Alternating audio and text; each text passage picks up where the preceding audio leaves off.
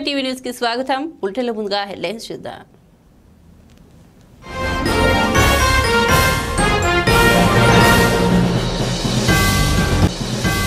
కాంగ్రెస్కు ఓటమి భయం పట్టుకోతే నల్గొండ జిల్లాలో అన్ని సీట్లు తమవేనని మంత్రి జగదీష్ రెడ్డి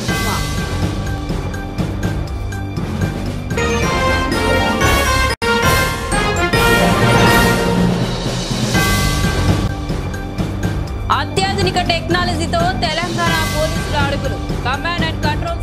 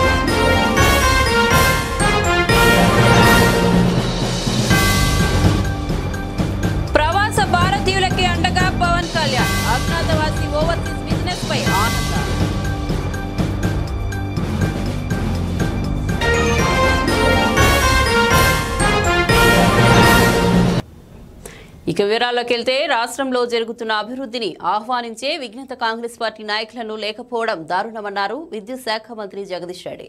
రాబోయే సార్వత్రిక ఎన్నికల్లో ఉమ్మడి నల్గొండ జిల్లాలోని పన్నెండు అసెంబ్లీ స్థానాలు రెండు పార్లమెంట్ స్థానాల్లో టీఆర్ఎస్ విజయకేతనం ఎగురవేయడం ఖాయమని ఆశాభావం వ్యక్తం చేశారు.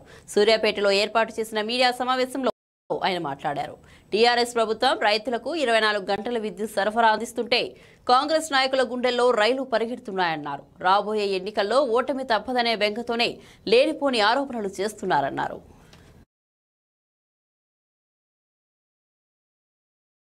రకరకాలుగా అవుతాం ఎందుకు ఇంతగా చేస్తుంది కాంగ్రెస్ పార్టీ రైతాంగానికి కరెంట్ ఇస్తే ప్రాజెక్ట్ నడుపుకోవడానికి రకరకాలుగా దొంగ పేర్ల మీద సాగుగా కేసులు వేసి ప్రయత్నాలు చేసినాం ఇవాళ విద్యుత్ శక్తి విషయం వచ్చేది బహిరంగంగా నిస్సిగ్గుగా నిర్లక్ష్యంగా ఇంకోటి రైతాంగానికి ఎదురు కరెక్ట్ అని మాట్లాడుతున్నాం మీ మాటల్ని నేను మనం మీరు అడగని మీ కుటుంబాన్ని ప్రజలు అర్థం చేసుకుంటాను కేసీఆర్ గారిని రాష్ట్ర ప్రభుత్వాన్ని అభినందించొద్దు అభినందిస్తే అభినందించడమే కూడా కాదు కేసీఆర్ గారి మీద కాదు ప్రభుత్వం మీద కాదు మంత్రుల మీద కాదు కుటుంబం మీద కాదు ఇవాళ వైఎస్ఆర్ కాంగ్రెస్ పార్టీ అధినేత జగన్ నియోజకవర్గం కడప జిల్లా పులివెందులలో ఆంధ్రప్రదేశ్ ముఖ్యమంత్రి చంద్రబాబు నాయుడు పర్యటించారు.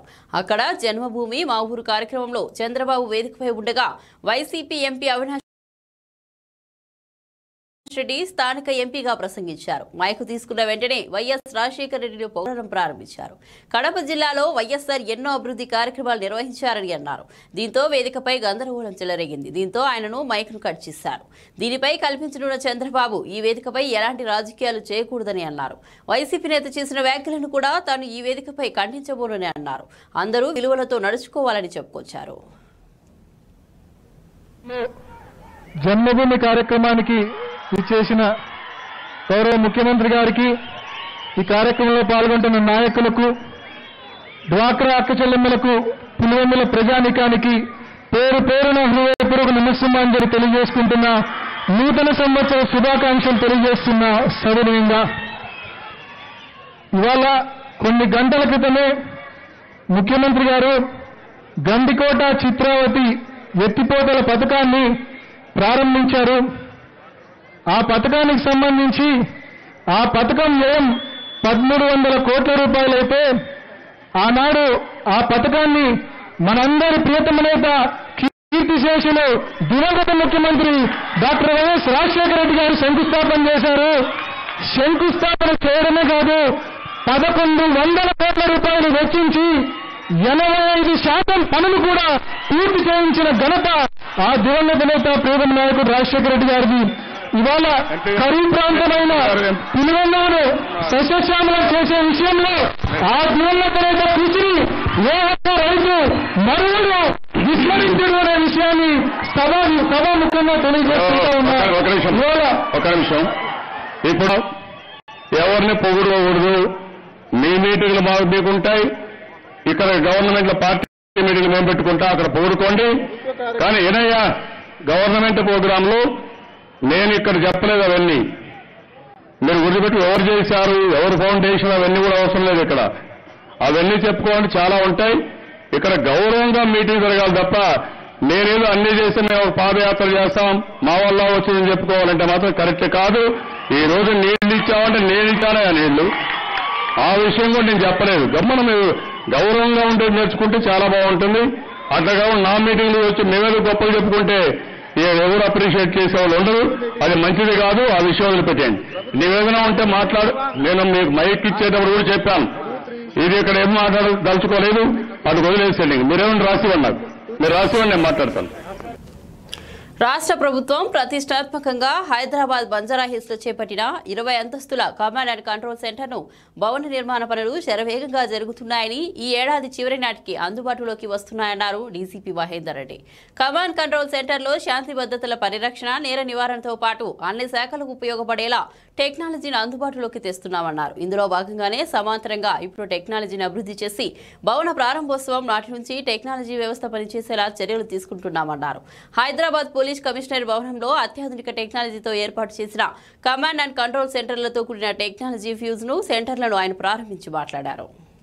కమాండ్ కంట్రోల్ సెంటర్ మనకి ఇక్కడ హైదరాబాద్ సిటీలో ఒక ప్యారలల్గా ఒక మీనియేచర్ కమాండ్ కంట్రోల్ సెంటర్ని ఒక టెక్నాలజీ ఫ్యూజన్ సెంటర్ని ఇక్కడ మనం ఎస్టాబ్లిష్ చేసి ఆ మెయిన్ కమాండ్ కంట్రోల్ సెంటర్లో రాబోయేటటువంటి టెక్నాలజీస్ అన్నిటిని కూడా ఇక్కడ డెవలప్ చేసి వాటిని టెస్ట్ చేసి తర్వాత అమలు చేసి ఆ ఫెసిలిటీ లాంచ్ అయ్యే రోజుకి మనం టెక్నాలజీస్ అన్నిటిని కూడా స్టేట్ వైడ్ ఇంప్లిమెంట్ చేయబోయేటువంటి టెక్నాలజీస్ అన్నింటినీ కూడా మనము ఒక మెచ్యూరిటీ స్టేజ్కి తీసుకొచ్చి దాన్ని రెడీగా పెట్టుకోవడానికి ఆ ఫెసిలిటీ ఎప్పుడైతే లాంచ్ అవుతుందో ఈ ఇయర్ ఎండ్లో ఈ టెక్నాలజీస్ అన్నీ కూడా అక్కడికి షిఫ్ట్ చేసి అక్కడి నుంచి ఫుల్ ఫ్లెడ్జ్డ్ సెంటర్గా ఇనాగరేట్ అయినటువంటి ఫస్ట్ డే నుండే పూర్తిగా ఆపరేషనలైజ్ ఆపరేషనలైజ్ అయ్యే విధంగా మనము ఒక ప్లానింగ్ చేస్తూ ఈ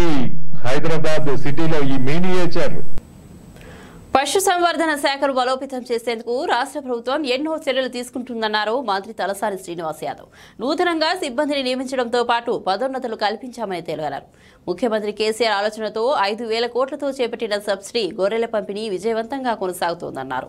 తలసాని సచివాలయంలో సంవర్ధన శాఖ అధికారుల డైరీ రెండు వేల పద్దెనిమిది క్యాలెండర్ను మంత్రి ఆవిష్కరించారు. మన ముఖ్యమంత్రి గారి ప్రోత్సాహం మేరకు మరి ఇది one of the number one department కావడానికి మీ అందరు చేసినటువంటి కృషి అని చెప్పి నేను ఈ సందర్భంగా తెలియజేస్తా ఉన్నా. మరి గత సంవత్సరం కూడా ప్రమోషన్ల విషయంలో కానీ మరి అనేక సందర్భాలలో మీ ఏ ఇష్యూ ఉన్నా కానీ అడ్రస్ చేయడానికి మరి ఎప్పటికప్పుడు మన స్పెషల్ సెక్రటరీ గారి ఆధ్వర్యంలో జరుగుతున్నటువంటిది మీరు రెగ్యులర్గా నెగోషియేట్ చేసి ప్రమోషన్స్ విషయంలో కానివ్వండి మరి చాలా సందర్భాల్లో ఎప్పటికప్పుడు మీతోని మనం అందరం కలిసి షేర్ చేసుకొని ముందుకెళ్తున్నటువంటి విషయాన్ని కూడా నేను ఈ సందర్భంగా తెలియజేస్తా ఉన్నాను. మన ద్వారా కొన్ని లక్షలాది మందికి మేలు చేయడమే కాకుండా ఈరోజు జీవాలు మరి అనేకమైనటువంటి జీవాలు మానవ సమాజంలో మరి జీవాలకు సర్వీస్ చేసేటువంటి అవకాశం కూడా అది గొప్ప అవకాశం అని చెప్పి నేను ఈ సందర్భంగా తెలియజేస్తా ఉన్నా. తప్పకుండా మన ముఖ్యమంత్రి గారి ఆధ్వర్యంలో ఇంకా మన డిపార్ట్మెంట్ ముందుకు వెళ్తుంది. మన ఆఖరి లక్ష్యం వరకు మనము చివరి ఇంటి కుటుంబానికి ఇచ్చే వరకు ఆ గొర్రెల పంపిణీ కార్యక్రమం డిసెంబర్ ముప్పై ఒకటి రాత్రి పోలీసులు జరిపిన రంగన్ రై తనిఖీలో అడ్డంగా దొరికిపోయిన ప్రముఖ యాంకర్ నటుడు ప్రదీప్ ప్రస్తుతం పరారీలో ఉన్నారని జూబ్లీహిల్స్ పోలీసులు వెల్లడించారు. ఆయన రెండవ తేదీన ట్రాఫిక్ ట్రైనింగ్ సెంటర్కు తల్లి లేదా భార్య లేదా సమీప బంధువులతో సహా కౌన్సిలింగ్కు హాజరు కావాల్సి ఉన్నా ఆయన రాలేదన్నారు. తాము పోలీసులను ఆయన చెప్పిన మణికొండలోని చిరునామాకు పంపించగా ఇంటికి తాళం వేసి ఉందని చెప్పారు. ప్రదీప్ కార్యాలయం కూకట్పల్లిలో ఉందని గమనించిన పోలీసులు అక్కడికి వెళ్ళే కూడా వెళ్ళారని ఆయన ఫోన్ స్విచ్ ఆఫ్ వచ్చిందని తెలిపారు. ఈ విషయాన్ని ఉన్నతాధికారులకు అందించిన రిపోర్టులో ఫిర్యాదు చేశారు. ఇవాళ కూడా ప్రదీప్ కౌన్సిలింగ్కు రాకపోతే లా అండ్ ఆర్డర్ పోలీసులకు విషయం తెలియజేస్తామని తదుపరి చర్యలను వారే తీసుకుంటారని ట్రాఫిక్ పోలీసు వెల్లడించారు.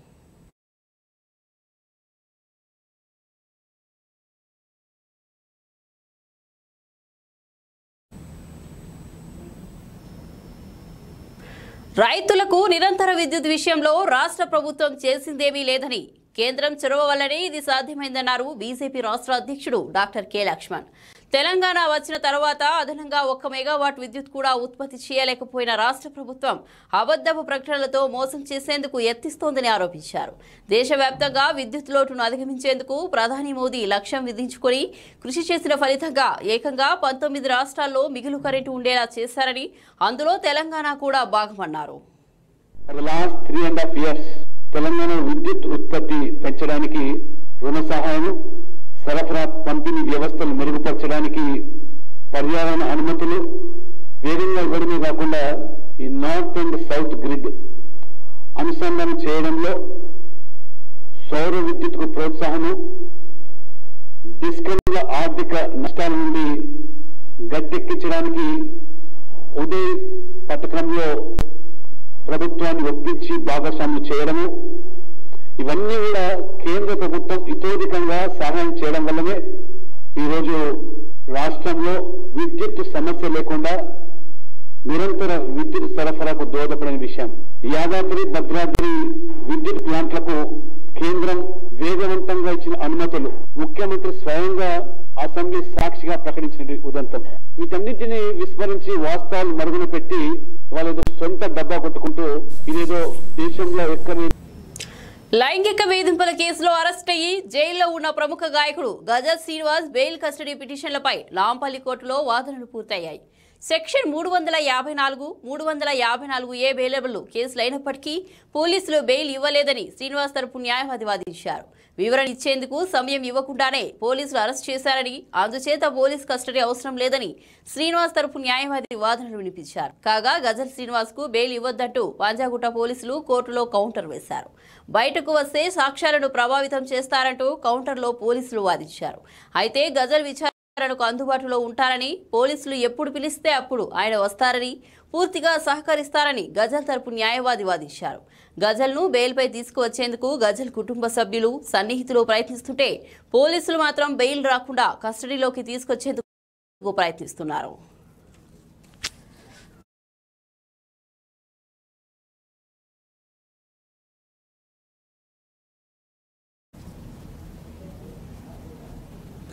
ప్రముఖ గాయకుడు గజల్ శ్రీనివాస్ ఓ యువతిపై లైంగిక వేధింపులకు పాల్పడిన వ్యవహారంపై ఏపీ దేవాదాయ శాఖ మంత్రి మాణిక్యాలరావు స్పందించారు.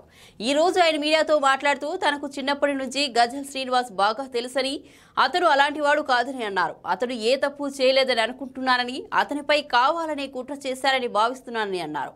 పథకం ప్రకారం చేయకుంటే వీడియోలు బయటకు ఎలా వస్తాయని ప్రశ్నించారు. ఇప్పుడు గజల్స్ కూడా నాకు చిన్నతనం నుంచి కూడా తెలిసిన కుర్రాడు. నాతో నాకు బాగా. అతను పెరిగిన వయసు అంతా కూడా నాకు తెలుసు.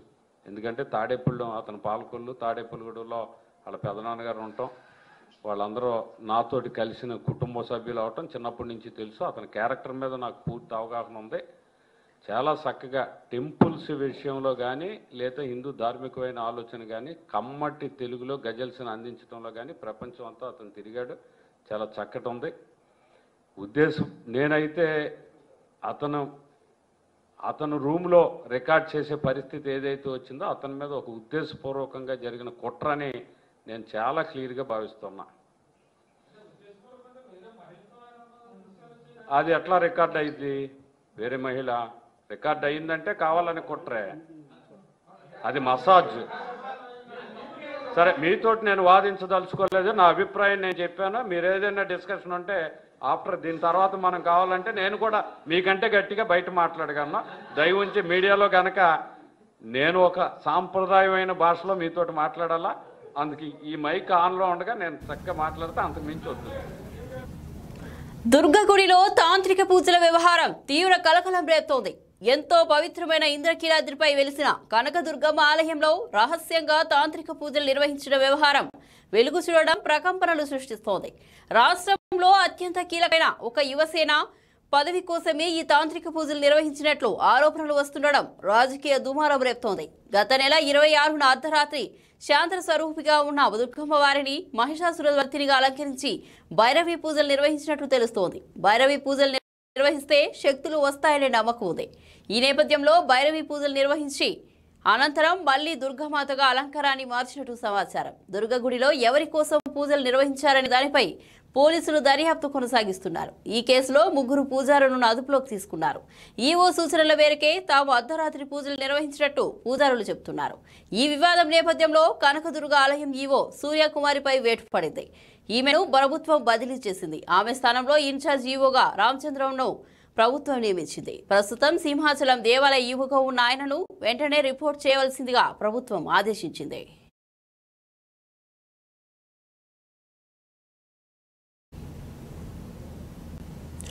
దుర్గగుడిలో జరిగిన క్షుద్ర పూజల వ్యవహారంపై శారద పీఠాధిపతి స్వరూపానంద స్వామి ఆగ్రహం వ్యక్తం చేశారు. దుర్గగుడిలో అపచారాలు జరుగుతున్నాయని అర్ధరాత్రి గుడిలో తాంత్రిక పూజలు జరుగుతుంటే ప్రభుత్వం ఏం చేస్తుందని ఆయన మండిపడ్డారు. దేవాలయాల పవిత్రను కాపాడే బాధ్యత ప్రభుత్వానికి లేదా అని ప్రశ్నించారు. హిందూ దేవాలయాల ఆదాయం మీద ఉన్న మక్కువ గర్భగుడిలో ఉన్న దేవుడిపై ప్రభుత్వానికి ఎందుకు లేదని నిలదీశారు. హిందూ దేవాలయాలను అవమానపరుస్తున్నారని ఆవేదన వ్యక్తం చేశారు. శారదా పీఠం తరపున ప్రభుత్వానికి లేఖ రాస్తున్నామని చెప్పారు.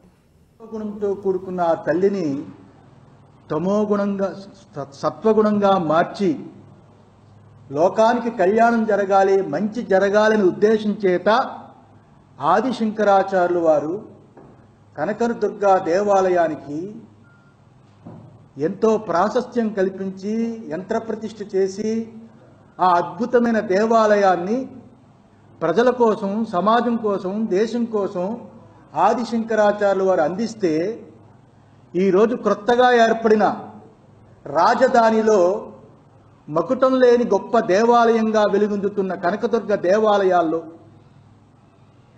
రెండు సంవత్సరాలుగా అనేక అపచారాలు జరుగుతున్నాయి.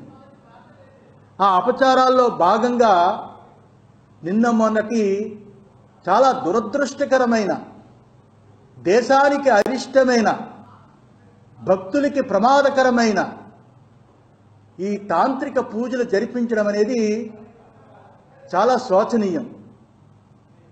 ఇది ఎంతవరకు సబబు? ఇది జరిగిన తరువాత ప్రభుత్వం కానీ దేవాదాయ ధర్మాదాయ శాఖ కానీ ఏ రకమైన నిజ నిర్ధారణ చేయడానికి పూనుకుంది. అక్కడ ఉన్న కొత్తగా వచ్చిన కనకదుర్గ దేవాలయం యొక్క ఈవో గురించి అనేక ఆరోపాలు ఉన్నాయి ఒక్క ఆరోపాన్ని కూడా ఈ ప్రభుత్వం నిగ్గు తేర్చలేదు.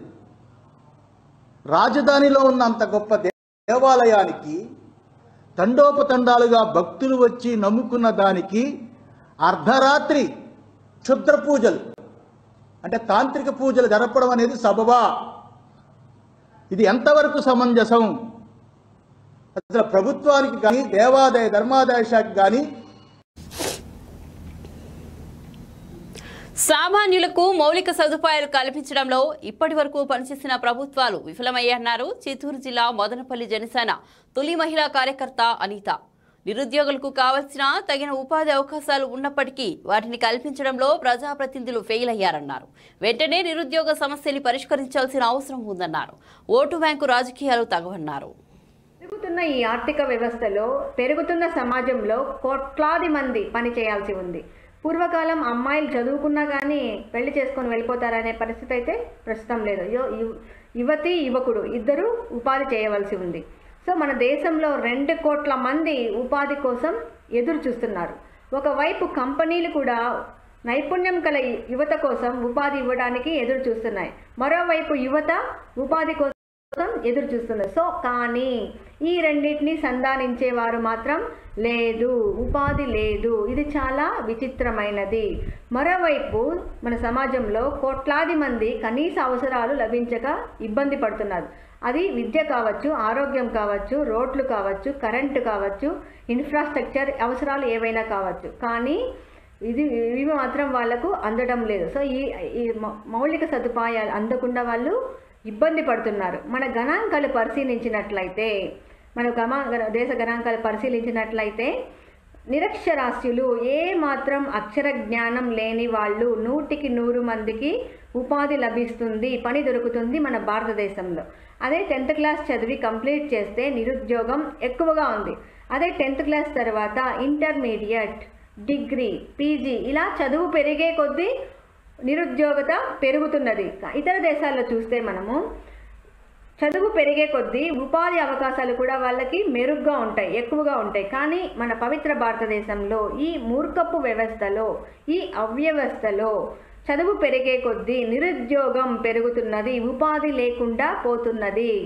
సో ఈ విధంగా ఆర్థిక వ్యవస్థ మన అభివృద్ధి చెందకపోవడానికి కారణాలు మూడు ఉన్నాయి ఒకటి మౌలిక సదుపాయాలు. మన ప్రభుత్వాలు మనకి మౌలిక సదుపాయాలు కల్పించడం లేదు. ఓటు బ్యాంకు రాజకీయం చేస్తున్నాయి. తాత్కాలిక ఓటు హక్కుని ఉపయోగించుకుంటున్నాయి తప్ప దేశం అభివృద్ధి చెందుతుందా లేదా? ప్రజలు భిక్షగాళ్ళుగా మారుతున్నారు. అది చూ గమనిస్తున్నామా లేదా? మేము పని చేస్తామంటూ ముందుకు వస్తున్న యువతకు సహాయం చెయ్యము అని ఈ రాజకీయ పార్టీలన్నీ సంకల్పం చేసుకున్నాయి. ఒట్టు పెట్టుకున్నాయి. ఇది ఇలా ఉంటే రెండవది లంచం అడుగడుగున లంచం. లంచం డబ్బులు ఇస్తేనే పని లేదంటే సిఫార్సు లేదా పలుకుబడి ఉపయోగించాలి. సో జేబులో డబ్బు నింపుకొని పోతేనే బయట మనము పని జరుపుకొని రా వస్తాం. లేకపోతే మన పని జరగదు. ఇలా ఉంది. మూడవది నైపుణ్యం. నైపుణ్యం గల యువత లేరు. నైపుణ్యం అంటే మనం చదువుకున్న చదువు చిత్తూరు జిల్లా మదనపల్లిలో నూతన సంస్థల ప్రారంభాన్ని పురస్కరించుకుని డ్వాక్రా వారి సహకారంతో హ్యాండీక్రాఫ్ట్ ఎగ్జిబిషన్ ఏర్పాటు చేశారు. ఇటు నూతన సంవత్సరం అటు సంక్రాంతి పండుగల నేపథ్యంలో ఏర్పాటైన ఈ ఎగ్జిబిషన్కు స్థానికుల నుంచి మంచి ఆదరణ లభిస్తోంది. పలు రకాల వస్తువులు దుస్తులు అందరినీ ఆకర్షిస్తున్నాయి.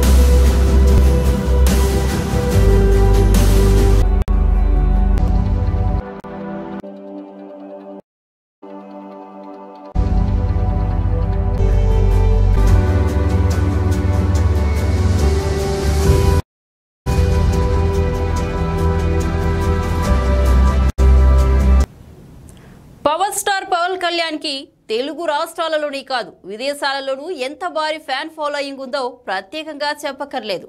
ముఖ్యంగా ఓవర్సీస్లో పవన్ సినిమాకి విశేష ఆదరణ లభిస్తోంది. ఏ ఇండియన్ మూవీ కూడా విడుదల కానున్న థియేటర్లతో ఆజ్ఞాదివాసి చిత్రం ఓవర్సీస్లో విడుదల కానుండడంతో పవన్ ఒకంత ఆశ్చర్యం వ్యక్తం చేస్తూ ఆనందానికి లోనయ్యారు. ఈ సందర్భంగా ఓ వీడియో ద్వారా ప్రవాస భారతీయులకి అన్ని వేళలా ఉంటాను అండగా ఉంటానని తెలుపుతూ అజ్ఞాతవాసి చిత్రాన్ని ఇంత పెద్ద మొత్తాన్ని విడుదల చేస్తున్నందుకు ప్రతి ఒక్క భారతీయుడికి కృతజ్ఞతలు తెలిపారు.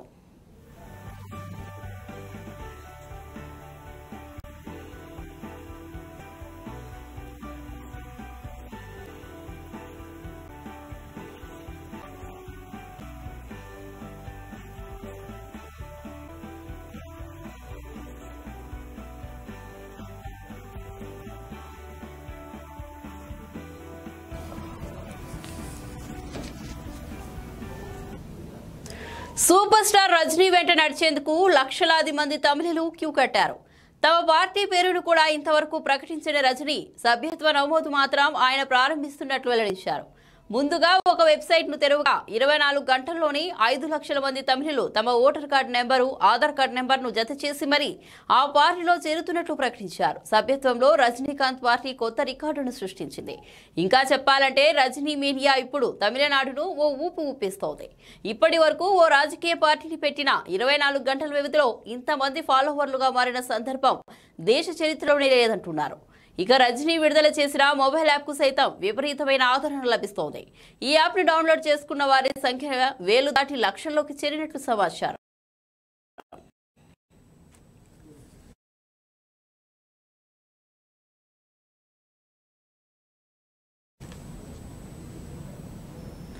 పెరు రాజధాని లిమాలో ఘోర రోడ్డు ప్రమాదం జరిగింది. అక్కడ రాఖీ బీచ్ వద్ద ఉన్న లోయలో ప్రయాణికులతో వెళ్తున్న బస్సు పడిపోయింది. వేగంగా వచ్చిన బస్సు ట్రాక్టర్ను ఢీకొట్టింది దీంతో బస్సు అదుపు తప్పి లోయలో పడిపోయినట్లు పెరు ట్రాన్స్పోర్ట్ చీఫ్ డీవో తెలిపారు. ఈ రెండు వాహనాలు పోటాపోటీగా వేగంతో ముందుకు వెళ్ళడం వల్లనే ప్రమాదం జరిగినట్లు అధికారులు ప్రాథమికంగా నిర్ధారించారు. ఈ ప్రమాదం జరిగిన సమయంలో బస్సులో యాభై ఏడు మంది ప్రయాణికులు ఉన్నారు. వీరిలో నలభై ఎనిమిది మంది మృతి చెందగా మిగతా వారు తీవ్రంగా గాయపడ్డారు. ప్రత్యేక హెలికాప్టర్ల ద్వారా మృతదేహాలను బయటకు తీసుకొచ్చారు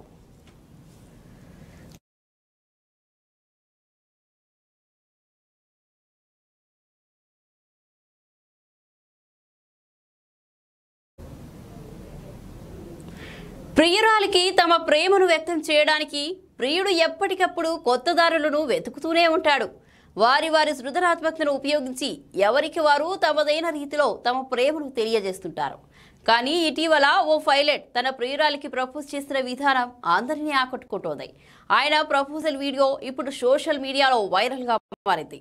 డిసెంబర్ ఇరవై మూడున పైలట్ జాన్ అమర్షన్ ఫ్లైట్ అటెండెంట్ లారెన్స్ గిబ్స్లు డెట్రాయిట్ నుంచి ఒక్లమాద్ సిటీకి వెళ్తున్న విమానంలో తమ తమ విధుల్లో నిమగ్నమై ఉన్నారు. విమాన ప్రయాణం గురించి మైకుల్లో ఎమర్జెన్సీ ప్రయాణికులకు సూచనలు చేస్తున్నారు. ఆ సూచనల్లో భాగంగా లారెన్స్ గుర్తించి ప్రస్తావించాడు. అంతేకాకుండా అదే ప్రకటనలతో భాగంగా లారెన్స్కి ప్రపోజ్ చేశాడు. దీంతో పక్కనే ఉన్న లారెన్స్ లొంగిపోయింది. ఆమె ఎమర్జెన్సీ ప్రపోజల్కి అంగీకరించగానే ప్రయాణికులంతా లేచి చప్పట్లు కొడుతూ హర్షం వ్యక్తం చేశారు.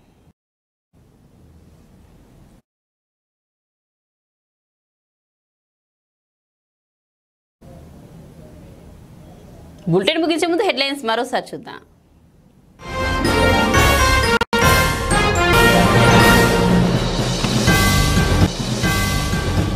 కాంగ్రెస్కు ఓటమి భయం పట్టుకోంది. నల్గొండ జిల్లాలో అతి సీట్లు